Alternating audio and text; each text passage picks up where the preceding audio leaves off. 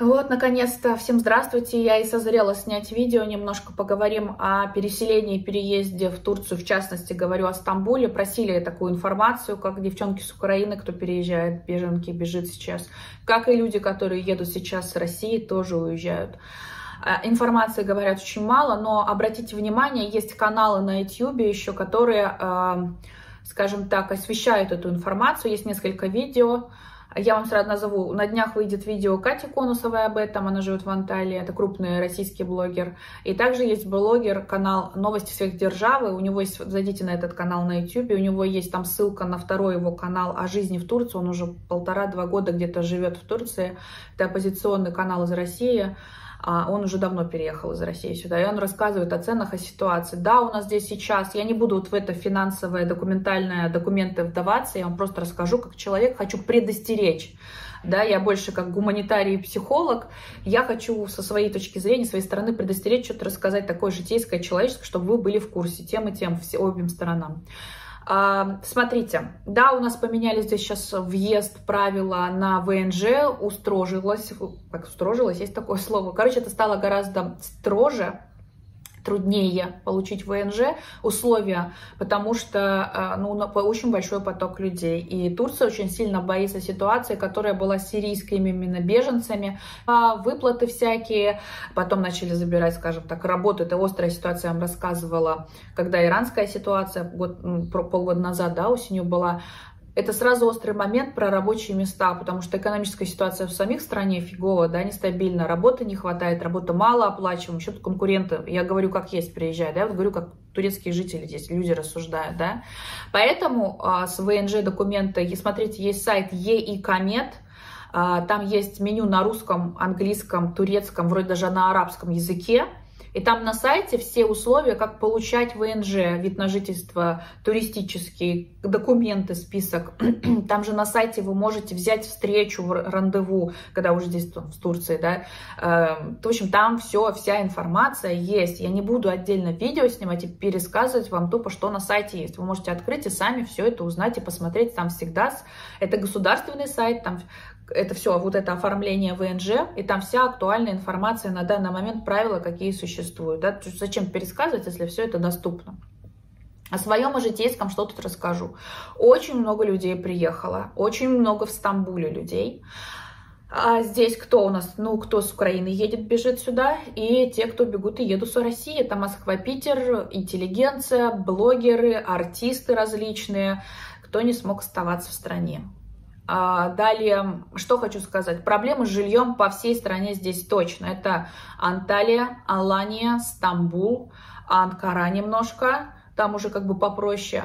В глубинку, естественно, в маленькие города никто не хочет ехать. Кто сюда планирует переехать в Турцию, пересидеть на полгода и год, там вам дали ВНЖ, мой человеческий совет, едьте в города поменьше, не в эти крупные. Там гораздо ниже аренда жилья, там гораздо ниже цены на продукты и на питание.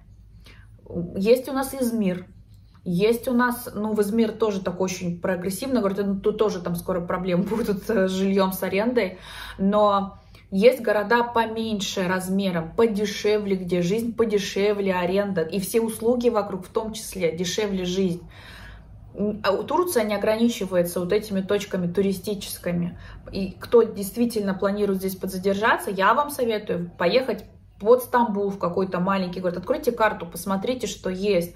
Где-нибудь, например, автобус. У нас здесь очень хорошее автобусное сообщение по стране. Вы можете купить на автовокзале билет, или там родственники у вас если кто знакомый, да, и поехать просто с чемоданами там парочку, допустим, чемоданов с семьей вы приехали, поехать под Стамбул, в маленький небольшой какой-то город, более провинциальный, дешевле, проще, проблем там, да, там не знают английский где-то язык, поверьте, тут на пальцах объясниться можно. Я в этой теме, потому что в помощи тем, кто сюда сейчас переезжает, уже как все эта история началась, я в этой теме, я вам серьезно говорю. По поводу тех, кто переезжает с украинской стороны, девчонки, мальчишки, смотрите, кто едет на машинах, какие правила у нас здесь для... На три месяца можно заехать на машине и регистрация ее.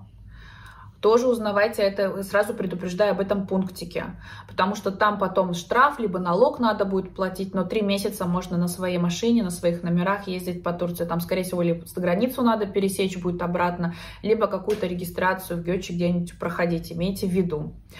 А, по поводу жилья сказала. Цены сейчас у нас фиксируются в валюте, в евро называют риэлторы. Можно рассчитываться за аренду жилья в лирах, но курс, а, стоимость аренды, она прикреплена к евро. Это и понятно, потому что цены растут, газ растет, бензин в стране. Поэтому это не то, что придумали, э, хотят нажиться, как многие в интернете говорят, это условия такие. Сейчас и для турок снимать, по сути, то же самое, неважно, иностранец ты или турок.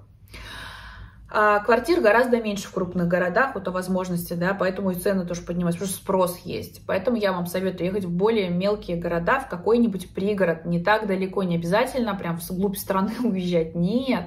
Просто под Стамбулом, возле Анталии. Ну, в Анталии вообще, честно говоря, да, там море это манит, скоро сезон, но там дороже всего будет. В Стамбуле даже подешевле можно поинтереснее варианты найти, чем в той же Анталии. Сейчас на пик цен это Анталия, Алания, вся та сторона.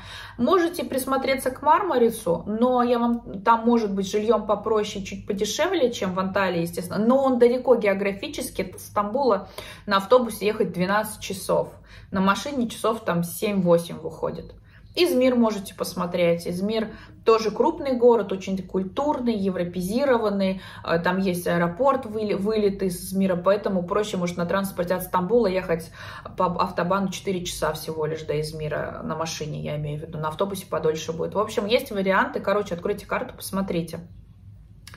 Я хочу, скажем так, а, предупредить тех, кто сюда переезжает. Проверяйте деньги, свою наличку, кому вы за квартиру, за что-то, за аренду платите. А, кто вам что-то, если хочет по курсу доллара где-то там, не знаю, черная касса обменять валюту, не соглашайтесь. И, например, в Стамбуле очень много довиз, это обменники денег там обменивайте, пожалуйста, там вы можете в Биязмаса позвонить, это а, и даже на английском пожаловаться, то, то есть это сервис такой а, государственный, куда вы можете вообще на все в стране жаловаться. И там это действительно рассматривают, здесь эта система, назовем жалоб, она работает. Если вас обманут, там тоже в довизах этих разные могут быть немножко курсы. А, кто-то, это же потому что частники. Но вы можете посмотреть в ряд условно выбрать тот, который вам удобные, самые приятные условия обмена денег предложит, пожалуйста. А, никто не заставляет идти только вот в этот, только вот сюда. Но частники какие-то, кто на руке, если такое вообще вы встретите, это запрещено, это незаконно, в это лучше не ввязываться, я вас предупреждаю. Для тех, кто с Украины переезжают, девочки, в Телеграме есть чат, забейте в поиске «Украинцы в Турции». Есть украинцы в Стамбуле. Там сидят те, кто волонтеры, помогают, собирают гуманитарку, представители от консульства, посольства. У них есть горячая линия у посольства, у них есть офис по сбору гуманитарки. Можете туда обращаться. Как они помогают? Они помогают люди здесь, турки, собирают деньги, они помогают каким-то выделениям, ну, на какую-то еду, дают еду, одежду теплую, потому что здесь холодно, кто переезжает, имейте в виду, холодно сейчас, еще в Стамбуле а, очень а, аномально холодная зима, весна, и нам еще не пришла, снег сейчас падает, понимаете? Тепло одевайтесь, берите теплые вещи. Затем может, помогут с арендой жилья, хоть что-то, какой-то хостел, что-то такое найти, в принципе, жилье, какие-то адреса. То есть не стесняйтесь обращаться за помощью в свое представительство и консульство. Эта помощь есть. Все, кто здесь украинцы, в том числе и русские, казахи, мы все вместе, как СНГ, мы все помогаем друг другу чатами, пересылками, всем прочим, кто чем может помощь здесь есть. Главное, они попросить девочки, кто беженки из Украины или из России переезжают, кто без мужей, с детьми и так далее. Есть чаты тоже по помощи. Турки примут к себе домой, пожить можно. Здесь такая история тоже идет. Пожалуйста, сразу говорите, что вы с мужем говорите, что муж у вас, например, они если говорят, у вас же военное положение, вы выехать с мужем не можете, мужчин не выпускать. Говорите, у меня муж инвалид, он смог выехать, он у меня не пригоден для службы. Сразу будут отсягаться всякие аморальные подкатывающие турки, мужики, которые расплодились в этих чатах, я вас предупреждаю, девочки, которые приглашают к себе одинокую девушку-украинку к себе возьму, да, кто сейчас там беженец бежит, или с ребенком. На это не соглашаемся. Чтобы их проверять, говорите, что вы не одна, и с ребенком, или там с сестрой, или с тетей, одни женщины. Говорите всегда, что у вас есть мужчина, или у вас взрослые 17-летних 2-3 сына есть, и так далее, понимаете? Не соглашайтесь, пожалуйста, на такое предложение о пожить и о помощи активизировались моральные какие-то уроды, которые всегда только и рады предоставить, а такое воспользоваться. Понимаете, о чем я говорю? Как бы тяжело не было, обращайтесь к волонтерам своего консульства, но не к вот таким мужикам непонятным, которые приглашают одиноких женщин или женщин с детьми, потому что их мужья остались там на родине у себя дома. Поняли? Торговаться в Турции можно и нужно, но я при этом хочу сказать, сбивать цену, и у меня даже есть видео а, о том, как торговаться в Турции с турками. А, можно всегда просить какую-то скидку, но, пожалуйста, тоже, девочки, имейте в виду, если кто э, беженец. Я уже просто лично слышала не только истории, сама с этим сталкивалась, когда говорят, я из Украины, я украинец, мне можно, дайте мне бесплатно.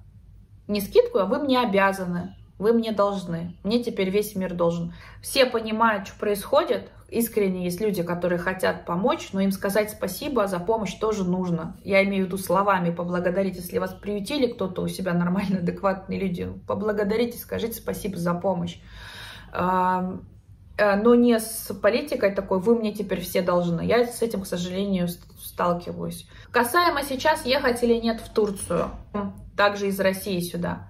Во-первых, дорого здесь. Сейчас здесь квартиру снимать стоит столько же, по сути, как и в Москве и в Питере. Турция не такая дешевая теперь, потому что курс доллара в России а, помахал нам bye-bye ручкой, да. И сейчас, по сути, а практически уже один к одному, один к десяти. Одна лира – это 10 рублей ваших. Поэтому это невыгодно. Питание, а, продукты, съем жилья Билеты дорогие, потому что полетов мало, туркиши только сейчас летают, и там можно перелететь через Казахстан с пересадкой. Но сумма билетов 500 евро, это туркиши, например, а, Питер, Москва до Стамбула в одну сторону на одного человека. Бизнес-класс 2000 евро стоит. Посчитайте сначала, как вы здесь проживете, какой промежуток времени, насколько ваших финансовых запасов здесь хватит. Учитывая то, что здесь тяжело сейчас найти жилье где бы вам остановиться. То есть имейте в виду, пожалуйста, все это, когда будете принимать решение. По поводу э, девчонок, женщин, кто едут с Украины сюда. Если у вас есть родственники, у кого пере, остановиться, перекантоваться, назовем так, то да, почему бы и нет, конечно, едьте. Э, здесь все нейтрально, нормально, вот консульство есть, если вы хотите помогать, вы можете здесь тоже волонтерить, помогать своим, отправлять гуманитарку. Но что здесь, э, здесь нет каких-то вот этих лагерей, э, как вот в Европе принимают мест спальных, жительства, работу дают и так далее. Здесь это не организовано на этом уровне, как в Европе. Э, нет вот этой гуманитарной помощи именно вот в таком плане, чтобы здесь на месте ты пришел, там у тебя готовое спальное место, тебя накормили и так далее. Я, по крайней мере, сейчас еще не слышала такой организации массовой. Ну, блин, потому что здесь это и, и понятно, потому что здесь Турция очень много осело беженцев из Сирии, из Ирака тогда подъехали по осени. Сейчас вот ситуация, украинцы едут, тут просто на всех не хватит. Поэтому они этой помощью не занимаются именно вот такой глобальной. Но свое комьюнити, свое сообщество очень здесь отзывчивые, девочки. Я вам серьезно говорю.